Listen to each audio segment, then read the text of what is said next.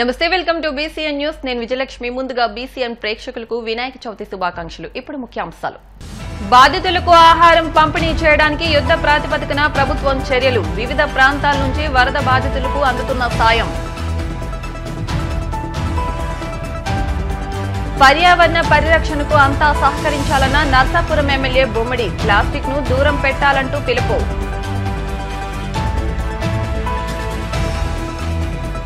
విజయవాడలో తగ్గుతున్న వరద రోడ్లపై మిగిలిన బురద డ్రోన్ల సాయంతో విస్తృతంగా శానిటేషన్ పనులు చేపట్టిన అధికారులు.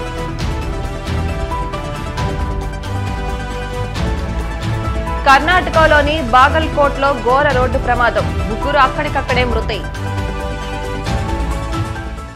విజయవాడలో వరద బాధితులకు ఆహారం పంపిణీ చేయడానికి ప్రభుత్వం యుద్ధ ప్రాతిపదికన చర్యలు చేపట్టింది. హోటళ్ళ యాజమాన్యాలతో సీఎం చంద్రబాబు రెండుసార్లు చర్చలు జరిపారు. ప్రస్తుతం శేషసాయి కళ్యాణ మండపంలో ఆహారం తయారీ ప్యాకింగ్ ఏర్పాట్లను చేపట్టారు. బాధితులకు ఎక్కడా ఇబ్బందులు తలెత్తకుండా ఉండేలా అధికారులు తగిన చర్యలు తీసుకుంటున్నారు. మరోవైపు వివిధ ప్రాంతాల నుంచి ఆహారాన్ని తీసుకొచ్చి వరద బాధితులకు అందజేస్తున్నారు.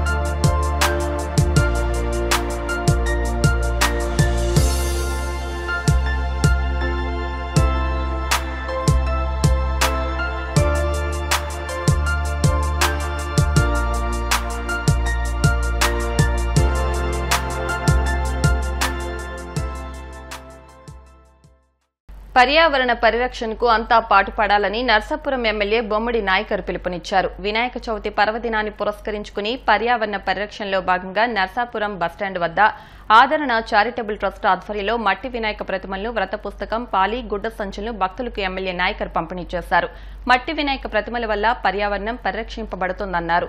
ప్రస్తుత సమాజంలో చాలా మంది సౌకర్యవంతమైన జీవనానికి అలవాటు పడి ప్లాస్టిక్ సంచులను ప్లాస్టర్ ఆఫ్ ప్యారిస్ను ఎక్కువగా వినియోగిస్తున్నారని దానివల్ల వాతావరణం కలుషితమవుతోందని అన్నారు.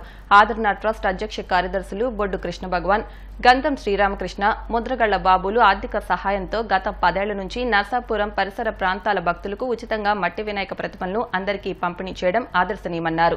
బీజేబీఎస్ మహిళా కళాశాల కార్యదర్శి నూలి శ్రీనివాస్ చెన్న రమేష్ శంకు భాస్కర్ నాయుడు వలవల నాని డాక్టర్ సందీప్ రెడ్డి వైఎన్ కళాశాల social service centre coordinator Prasadulu మాట్లాడుతూ ఆదరణ ట్రస్ట్ సేవలను అభినందించారు. ఈ కార్యక్రమంలో సమయమంతుల సర్వేశ్వరరావు శ్రీనివాస్ సోమిశెట్టి ఆదినారాయణ సిరం రంగనాయకులు పోలిశెట్టి సాంబా అగ్నిహోత్రం రవికిరణ్ గొర్రెల నాయుడు తదితరులు ఉన్నారు. ప్రతి ఒక్కరికి కూడా వినాయక చవితి శుభాకాంక్షలు తెలియజేస్తున్నాను. అదేవిధంగా ఈ రోజున పర్యావరణాన్ని కాపాడుకునే విధంగా ఆదరణ ట్రస్ట్ ద్వారా వరుసగా పదకొండవ సంవత్సరం ఆయన మరి భగవాన్ గారు ఆదరణ ట్రస్ట్ చైర్మన్ భగవాన్ గారు అదేవిధంగా రామకృష్ణ గారు ముద్రగల బాబు గారు. వీరందరూ కూడా ఆధ్వర్యంలో మట్టి విగ్రహాలు. మనం చూస్తున్నాం ఇవాళ సమాజం ఏ రకంగా పర్యావరణానికి ఇబ్బంది అయ్యి ఈ ప్లాస్టర్ ఆఫ్ ప్యారిస్ విగ్రహాలు వచ్చేసి రక ప్లాస్టిక్ విగ్రహాలు వచ్చేసి వివిధ రకాలుగా పర్యావరణం దెబ్బతింటుంది.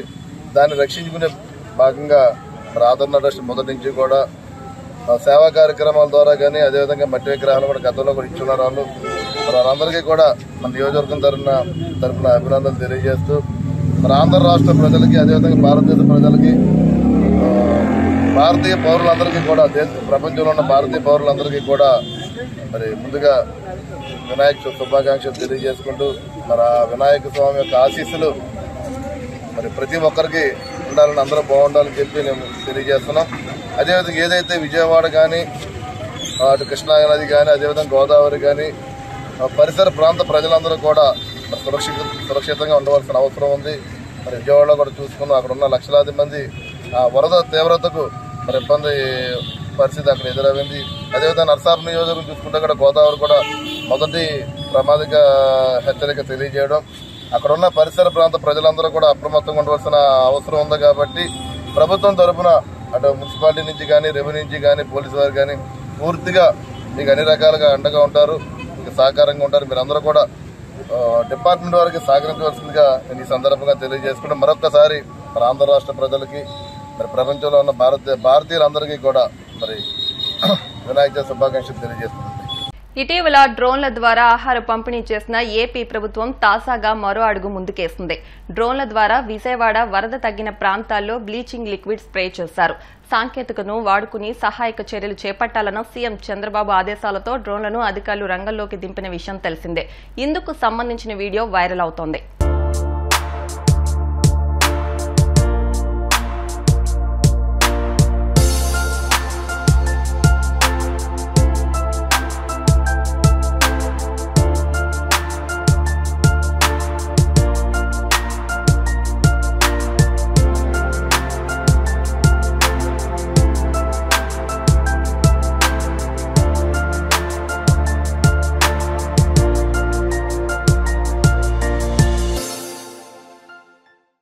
డాక్టర్ బిఆర్ అంబేద్కర్ కోనసీమ జిల్లా రావులపాలెంలోని ప్రగతి నర్సింగ్ హోంపై దాడి జరిగింది.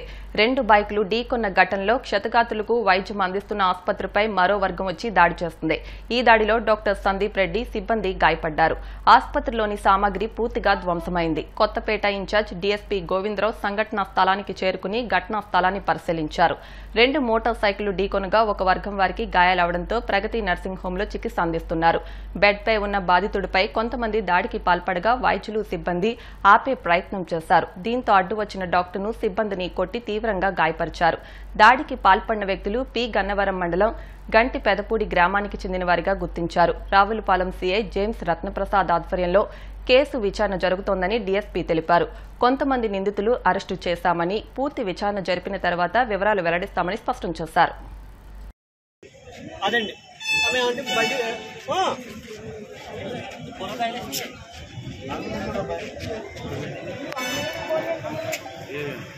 నలుగురు మనుషులండి లోన బద్దలు కూడా వేశారు. డాక్టర్లపై జరుగుతున్న. డాక్టర్లపై జరుగుతున్న దాడుల్ని డాక్టర్లపై జరుగుతున్న దాడుల్ని డాక్టర్లపై జరుగుతున్న దాడుల్ని అంటే ఎవరు కూడా రావులపాలెంలో ఎమర్జెన్సీని ఎవరు హ్యాండిల్ చేయలేదు. లోకల్ ఆ రోజు ప్రతి వాడిని రాజమండ్రి పంపించాలి. లోకల్ పోలీస్ వచ్చారు కానీ వాళ్ళ విక్టిమ్స్ని వదిలేస్తున్నారు అంతే. క్రైమ్ చేసిన వాడు మాత్రం మర్యాదగా చూస్తున్నారు. ఇది కుదరదండి. అప్పుడప్పుడు వాడిని తీసుకెళ్ళి జైల్లో పెట్టి పెట్టాలి సుమోటో కింద. మళ్ళీ ఎప్పుడు కూడా ఎవరు హాస్పిటల్లో చేయరు. వాడు దర్జాగా వాడు పోయాడు. అన్ని పగలగొట్టాడు బెదిరించాడు పోయాడు. పోలీసు వారు ఇప్పుడు పోలీసులు వచ్చారు కానీ వాళ్ళ వాళ్ళ మీద. అందరిని సర్ది పెట్టి పంపించారు కానీ కల్ప్రిట్ ఎవడైతే పగల కొట్టాడో కొట్టాడో వాడిని బొజ్జగించి పంపించారయ్యా ఇలాగైతే అందరూ రౌడీలాగే తయారవుతారు మరి ఐడెంటిఫై చేస్తారు డాక్టర్ గారు అడిగితే మేము అక్కడ గొడవ జరిగిన వాళ్ళని ఆల్రెడీ పోలీస్ స్టేషన్ తీసుకెళ్ళాం అలా చేయడం అలా చేశారంటే వెరీ వెల్ అండ్ గుడ్ మేము కూడా స్టేషన్కి వెళ్ళి కన్ఫర్మ్ చేసుకుని రిటర్న్ కంప్లైంట్ ఇస్తాం మాకైతే లోపలికి వచ్చి ఏం చెప్పలేదు డాక్టర్ గారు కొంచెం భయపడి లోపల ఉండవలసి వచ్చింది మరి ఏం చేస్తాం పోలీస్ జీప్ కూడా ఎక్కలేదంట పేషెంట్ గవర్నమెంట్ హాస్పిటల్ పంపించామండి ఏం చేయలేదు అక్కడ. నాకు వెనకాల బ్యాక్గ్రౌండ్ బోర్డు ఉంది పొలిటికల్ బ్యాక్గ్రౌండ్ నాకు బోర్డు ఉంది డాడీ వచ్చి ఎవరో పడి ఎవరో ఎంత గొడవ పెడుతున్నారు బయటకు కొట్టుకొచ్చు కదా ఎవరో గొడవ వచ్చేసి అంతే డాడీ గారు నమ్మకంగా ముందు మీద చేసి గంటే బాబాయ్ బాబాయ్ కొట్టేస్తారు బాబాయ్ డాడీ బాబాయ్. అని మేము కంగారు కంగారుగా భయపడిపోతుంటే ఎట్లా? మీకు సంబంధం లేదు? అంటున్నారు. అనేసి అని మీ నేటోకి ఇదేంటి సంబంధం లేదు మా ఇదంతా నాకు చేసి మరి సంబంధం కట్టబెట్టరా పెట్టరా ఎందుకని చేస్తారు మీరు ఒకటి అని డాడీ అంటే అంతే వర్క్ మీద లాక్కిపోయిండే వర్క్ మీద పెట్టుకుంటే. అడగారు. మాకు భయం వేసిందండి బాబు డాడీ ఏం చేస్తారా బాబాయ్ మాకు భయం వేసిందండి. ఈ మధ్యన మనకి అదర్ స్టేట్స్లో కానీ ఎక్కడైనా జరిగిన దీని మీద చాలా ఎలర్ట్గా చాలా విజిలెంట్గా ఉంటుంది పోలీసు అయినప్పుడు కూడా ఈ మధ్యన ఉన్న బందోబస్తులు కానీ వరదల వల్ల దీనివల్ల కొంత మ్యాన్ పవర్ తగ్గడం వల్ల డే బీట్ అనేది ఇది ఇద్దరు రెండు బీట్ నుండి ఒక బీటే తిరిగింది ఇవాళ. అయినప్పటికీ సీఏ గారు ఎస్ఐ గారు కూడా అందరూ కూడా రోడ్డు మీద ఉన్నారు వేరే దీని మీద. ఓకే అట్లా అయినప్పుడు కూడా ఇలాంటి ఇన్సిడెంట్ ఇక్కడ జరగడం అంటే ఫుల్ సెక్యూరిటీ ఉంది. ఎంతమంది మ్యాన్ పవర్ ఉంటున్నప్పుడు కూడా వాళ్ళు ఏదో తాగి ఇక్కడికి వచ్చి అసలు ఇలాంటి దౌర్జన్య సంఘటనలు జరగకూడదు. ఎందుకంటే వాళ్ళే ఎంతోమందికి ట్రీట్మెంట్ ఇచ్చి ప్రయాణం పోసి వాళ్ళ నుంచి బతికిస్తారు. వాళ్ళకే రక్షణ లేని పరిస్థితి రావడం చాలా స్మృతి ఇక్కడ జరగకూడదు. అందుకే ఏంటంటే కంటిన్యూగా ఇక్కడ ఒక పోలీసు తాలూకా వాచ్ పెట్టేట్టుగా ఇక్కడ పాయింట్ బుక్ గట్ట పెట్టి డాక్టర్ల గట్ట వాళ్ళ మనోస్థైర్యం దెబ్బతినకుండా ట్వంటీ ఫోర్ అవర్స్ కూడా ఇక్కడ పోలీసులు ఇదే నేను కడుతున్నాం అలాగే వీళ్ళ మీద కూడా అటెంప్ట్ మర్డర్ ఏ కేసులు వస్తాయో చూసుకొని ఆ కేసులు కట్టడం జరుగుతుంది. వాళ్ళు కంపల్సరీ రిమైండ్ పంపించడం ఇప్పుడు కాసేపు ప్రకటనలు.